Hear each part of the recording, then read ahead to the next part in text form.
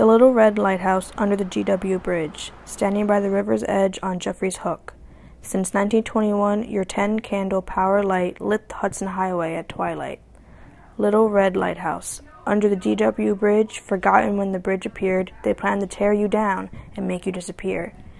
The little red lighthouse.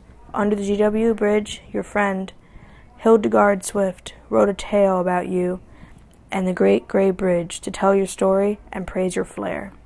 The little red lighthouse under the GW bridge. Are you a tale or for real? Those who found you kept you there to light their hearts of those who care.